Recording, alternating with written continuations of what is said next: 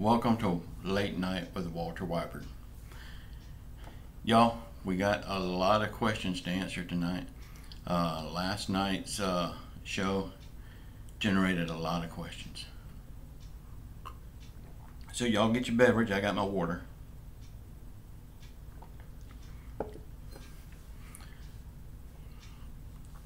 Y'all please uh, check out the links in the description box below. It's to my books, my guns, everything down there. It might be something you want. Y'all, today has been a very trying day for me on YouTube. Uh, last night was the debate. I made two videos this morning. The first video was looking at one side. People that watched that video, I've lost over 150 subscribers now on kind of that video. They don't take the time to watch the whole thing. If I say one thing that they don't like, click, they're gone. Uh, if they had just watched the whole video, they would have understood it. Or if they had watched the second one, they would see that I was on the other side. So, no matter what I do, I'm wrong. If I say one thing, I'm wrong. If I say another thing, I'm wrong. So I just give up. I want to say what I want to say, and if people wants to leave, they can leave. Uh, yeah, it's been a very trying day. Stimulus news. Y'all, I have come to the realization, you know, everybody is saying that they don't want to get a stimulus bill passed until after the election so they can make Trump look bad. Who knows? I've come to realize that I don't think they're going to get one pass until after the first of the year. Uh, I don't even think they're trying. I think it's all a forced. I think they're trying to make us think they're trying. But the whole plan is to get it done after the first of the year. That way they give us one stimulus package this year and another stimulus package next year. And once they give us that stimulus package next year, there won't be another one. I can I can almost guarantee that.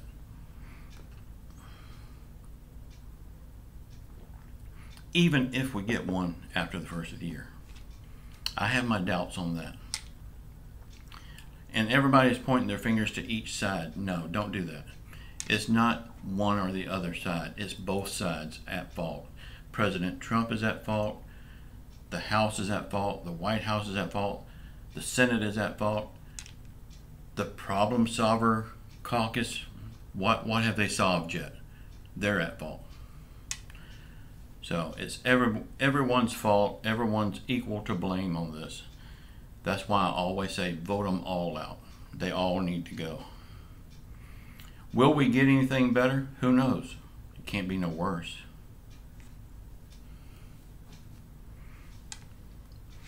Y'all, I will not be talking about the debate anymore. That got me in a lot of hot water. I lost, like I say, over 150 subscribers. So I will not be talking about the debate anymore. Uh, I will only be talking about stimulus stuff on the early videos. Now, this late night with Walter Weyburn, we will talk about everything except the debate. So if you ask questions about the debate, I won't answer them.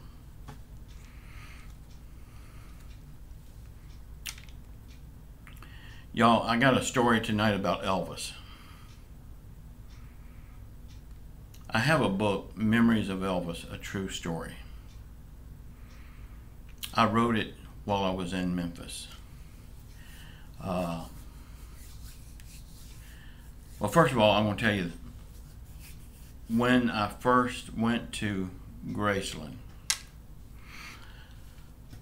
we got there I, in I've been there twice now. We got there twice. I mean, before the place opened up. We got there probably 7 a.m. or so, and I think they opened at 8 or 9. But out of nowhere, y'all gonna think I've lost my mind when I tell you this, but I swear to God, God knows it's true. Uh, I still get cold chills when I think about it. But anyway, at the gates of Graceland, they got that uh, rock wall. Well, at the rock wall is a driveway that takes you up to the wall off the off the main road. Well, we were standing there looking in at the gate, looking at the mansion. When I turned around, there was a little sports car. I don't even remember what kind it was now. I remember it, it had a convertible top though an MG or something. It it was a little sports car.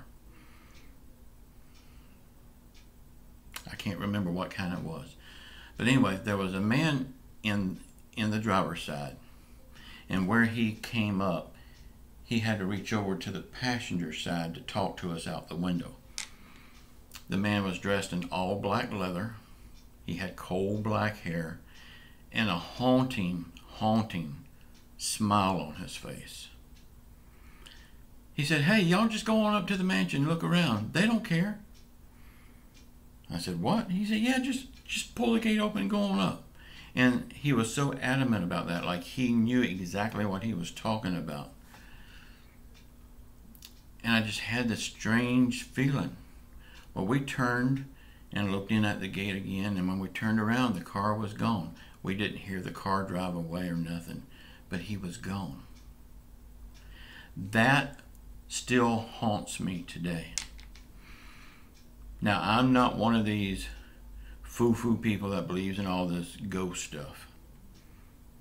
But, you know, even going back to the motel room that night, I just could not get that. I couldn't shake it. Now, the man did not look like Elvis, but he had the black hair, the black sideburns and stuff. And that smile, I'll never forget that smile on his face. He did not look like Elvis. He had the features, the hair and stuff like that. But I'm not saying it was Elvis. But it could have been. You never know. I'll never know what that really was. But it haunts me to this day. When we got back to the motel room, I wrote a story about it. That was the first story I ever wrote. And it's in the book, Elvis Memories, A True Story. It's in that book. Y'all, it was just a haunting feeling that I will never shake. We've been back since then, and of course, it's grown up and got bigger and better they they say it's better. I liked it better when we went the first time. Y'all, the reason I'm telling you this story tonight is because I had a question about Graceland. And I will answer that question here, and you will understand more when I answer that question. But, yes, I've been to Graceland two times. and both times was an experience I'll never forget. Y'all please watch the question segment because I've got a lot to say about this still, but I want to move on. A little bit more stimulus news. We still have no deal, of course. Supposedly, Mnuchin and Meadows are still working with Nancy trying to get an agreement. They say. I just don't see it. All this time they've been working, they should have came up with something by now. As close as we are, they could have reached a compromise one way or the other. If Nancy's not going to give in, Mnuchin and Meadows needs to give in. Like I said, both sides are equally to blame for us not getting a stimulus deal. I really believe that the agreement that they've got is not to give us a stimulus deal. I just I just don't see us getting a stimulus package until after the first of the year. And then when we get that stimulus package, I see that as being the last stimulus package. Y'all, my cookbook is still doing very good. It's in the description box below and it's also on my cooking channel. Please check it out. And that cookbook is down home southern cooking. It's recipes that's been passed down through my family through the years. Well, I'm working on another cookbook and I'm striving for it to even be better and bigger. And it is cooking with soul. It's soul food cooking. Uh, I mean, I'm a southern boy. That's the kind of food I like. Okay, we're going to get to the questions and answers now. Y'all forgive me if I butcher these names. Uh, some of these names I've never seen before. And I got a lot of them. But y'all please hang around at least until I get to the Elvis question. I want y'all to know about that. Forrest Duff asks, Who is my favorite author? My favorite author would be Gary Vaynerchuk. I love all of his business mindset books. If you've never checked Gary Vaynerchuk out, he's got a very big YouTube channel and he posts several videos a day about business, mindset, business mindset stuff. Go check him out. You might like him. He's a little rough around the edges, but he's got great content. And one more thing about Gary Vaynerchuk, he is a multimillionaire, but he still goes yard selling every Saturday.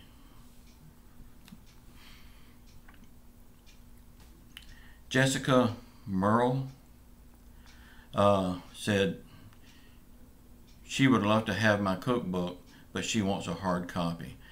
Jessica, but I'm sorry, there there's no hard copies of any of my books. I only do ebooks. And the reason why is if I do hard copies, then I have to get on those third party platforms like Amazon, Barnes and Nobles and stuff, and they're going to take a big chunk of my money. Uh, and I have to play by their rules. And if I go on Amazon, then I can't even put them on my own website for uh, I think it's 90 days. So no, I don't I don't play in other people's sandbox when it comes to my books. So therefore, all I have is ebooks. I do have one print book. Uh, it's uh, affiliate marketing. I've only got like nine copies of that, and when those are gone, I won't have any more. And I normally just give those away for freebies when people order something. They ask for one. I'll, I'll pass them one. Denise Stubbs ask how can she get one of my CDs. Well, right now I'm in the process of getting all of my CDs recopied. Uh, and matter of fact, I'll, I'll show you my CDs. I'm in the process of getting them copied and that way I will have more copies to sell, but I'm just about out. So I got my website for these turned off. Just as soon as I get these CDs back, I will turn that website back on. But I'll just show you the ones I've got right now. And all of these I'm getting copies of, and every one of them's got 12 songs on it. Uh, this one right here is, ooh, I don't know if you can see it. Walter Rocks the House. That's my rock. As much as a country boy can rock. It's not really hardcore rock. Then I got Christmas Memories. That's all the old school Christmas songs, country Christmas songs. Walter Country Fever. Most of these songs on here I wrote myself, so. Walter sings Conway Twitty. That's 12 of my favorite Conway Twitty songs. This was my very first CD. Uh, Walter Weyburn Sings Country Classics, Volume 1. That's old school country music right there.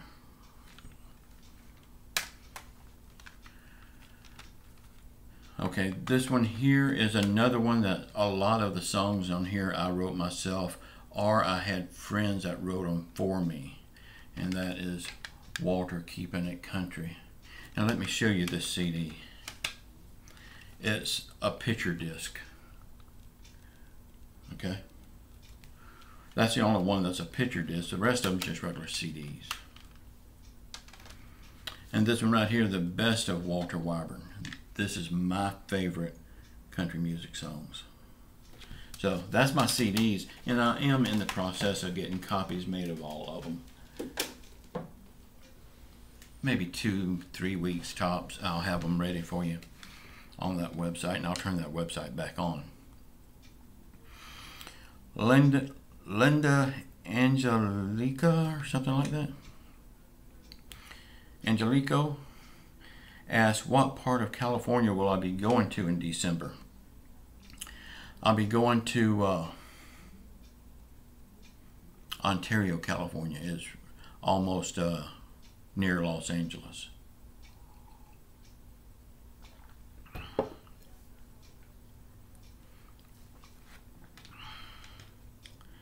Laura James asks, Will I be getting more personalized items like coffee cups and etc.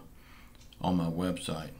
Laura, I've never thought about it, but if enough people wants me to, and they tell me what kind of products they would like to see, I just may do it.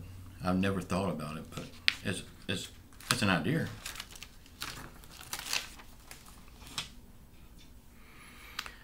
Glenda Cooper said, that she heard Johnny Bush had passed away.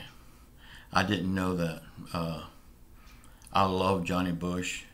I mean, he is good country, western swing, Texas type music, and that's my favorite kind. Uh, my favorite Johnny Bush song was Undo the Right.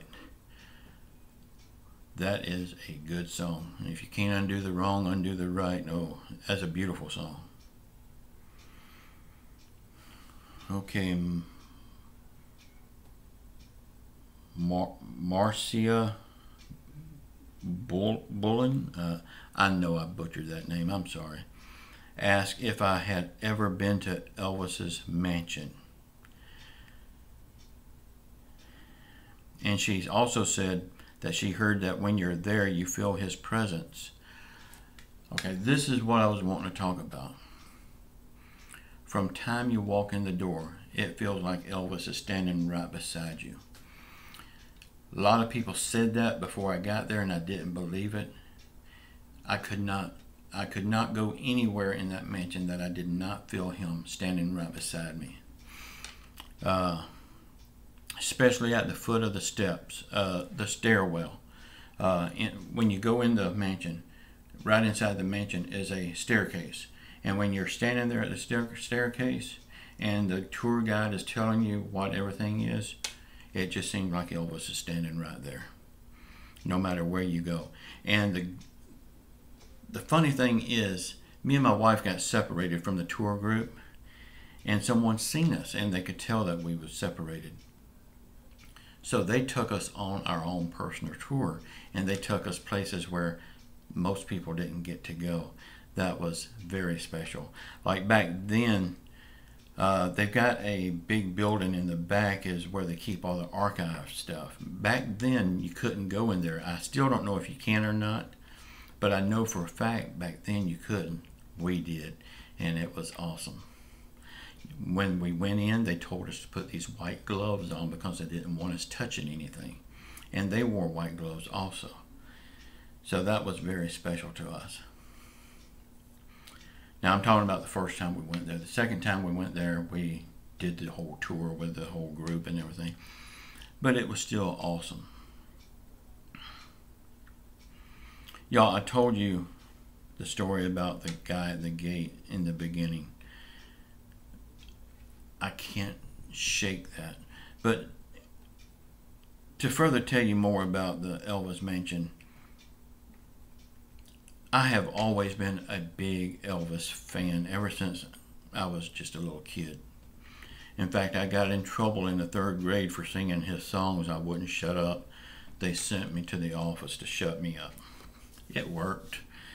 But anyway, Amy always wanted to go to Graceland, and I really didn't. I felt it was kind of disrespectful going through the man's house like that. So I really didn't want to go. But she kept on and kept on, so finally I gave in and we went. I am so glad I went. Oh my God. That is a memory that I will never forget. So, yes, I have been there two times and I won't go back. And I'm and I and I cover that in my Elvis Memories book. I will never go back there. Something happened there that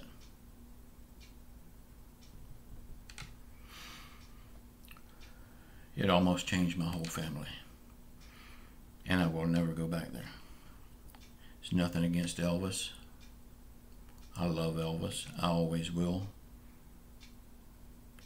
If y'all want to know anything more about that, you have to get the book because I can't talk about it in public.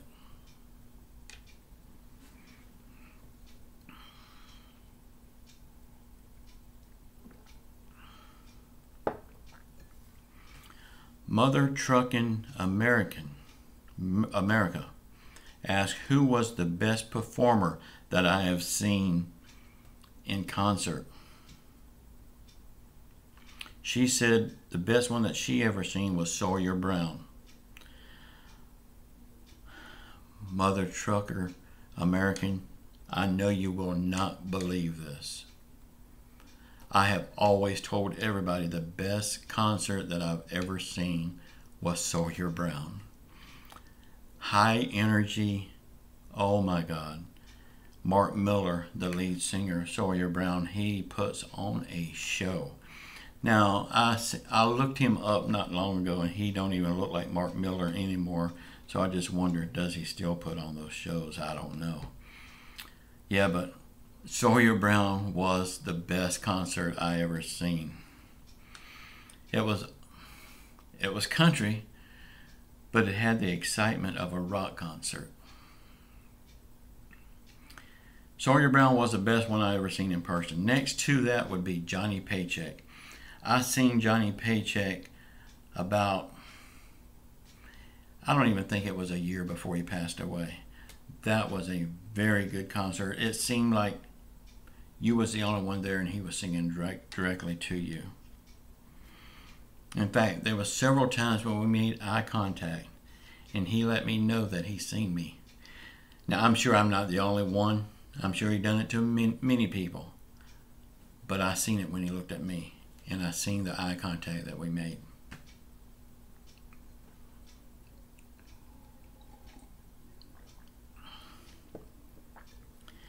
Hannah Smooth Megason, I hope I said that right, asked if Amy or me, has Amy or me ever cooked with an air fryer? No. Have we cooked with a slow cooker? Yes. A crock pot? No. I Personally, I don't do that kind of cooking, but Amy uses a slow cooker a lot. I don't really like slow cookers. They seem to dry meat out to me.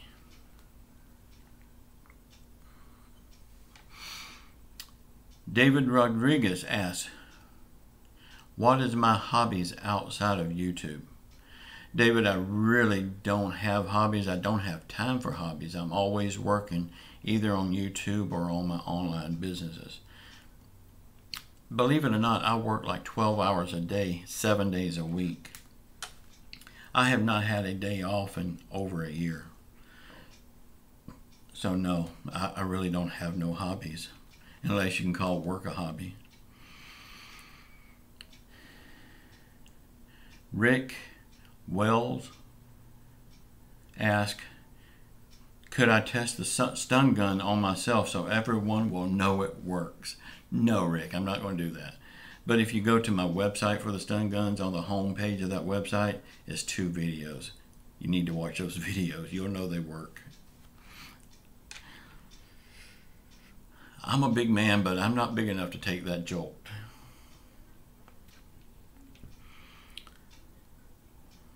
Marcy Torres, I believe, asked what did I think about the debate and I'm sorry I can't talk about that. Just go watch my video from 6 a.m. You'll see what I thought about it and it got me in a lot of hot water. So no, I lost over 150 subscribers for that video. So I'm not talking about that anymore. Sorry. Josephine Garcia asked how to order a stun gun. The link to my stun gun website is in my description box. Just go there, click the link. And she also asked uh, how much are the stun guns. They're $21.99 and you also get that that pin button that I'll, I give to any order. Uh, the pin button is an eagle and it says we the people are pissed off.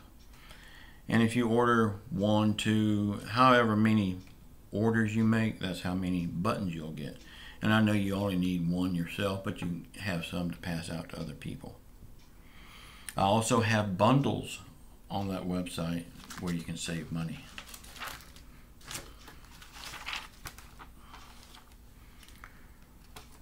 Now I know I'm going to butcher this name, but I'm going to give it a shot. Ron Jana J. 01 asks what is my favorite meal to cook.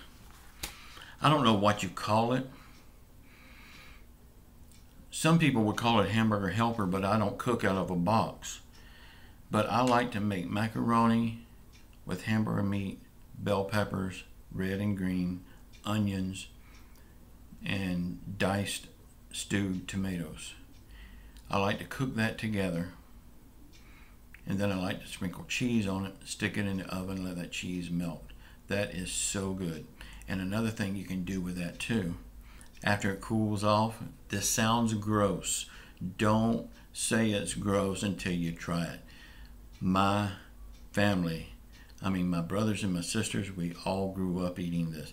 Don't say it's gross until you try it it sounds gross. After it cools off, get you a bowl. Put about a tablespoon of mayonnaise in it and mix it up. Ooh, that's so good. Lois Ann Wapner, Wapner, Wap, Whopper. She commented last night also. Asked what's my favorite food. Mexican. I could eat Mexican food every day. What's my favorite color? Black. What's my favorite ice cream? Vanilla. Uh, she didn't ask, but what's my favorite brand? Bluebell. It's just too expensive to buy, so I buy generic brand.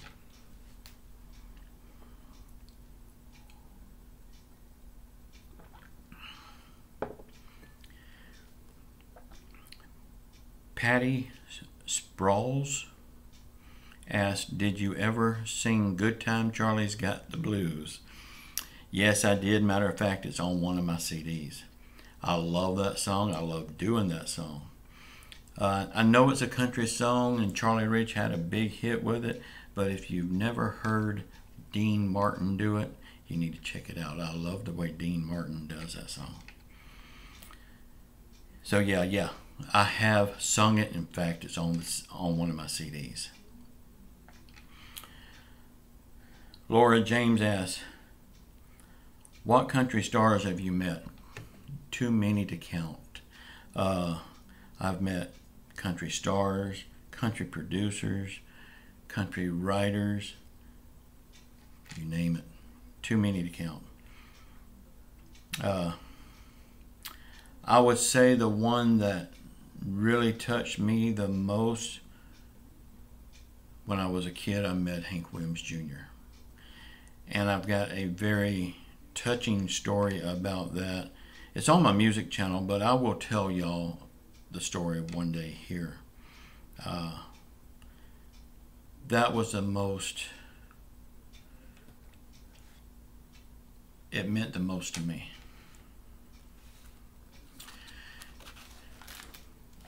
Y'all, again, Please come back here every night at 10 p.m. Check out my videos in the morning at 6 a.m. and at 12 p.m. Check out my links, my cookbooks, my stun guns, pepper sprays, tactical knives, and check out that Elvis book. It's on my book website. Uh, I've got two websites with books, but if you scroll down, the one that says uh, Walter Weyburn's My My Books or something like that. Go to that website. That that book is on that website. Check that book out. You might want to get it. Uh, it's a true story. Uh, what happened in Memphis almost changed my whole family dynamic. It, I will never go back to I will never go back to Memphis on kind of that. But again, I can't talk about the details of it here. Uh, my lawyer won't let me. So, y'all go check that out if you want to. Y'all, please give me a thumbs up, subscribe to my channel, watch the video that's popping up here now. I'm going to put the, the uh, late night with Walter from last night if you didn't see that.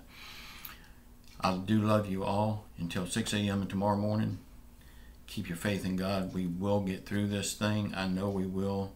And please understand on the debate, I have my opinion. And I wish people would, when I say some one thing that they don't like, I wish they wouldn't click away or pop off the handle at me. I wish they would hang around and hear me out, hear the whole thing they would understand where I'm coming from. I love you all. Until the next time, ciao.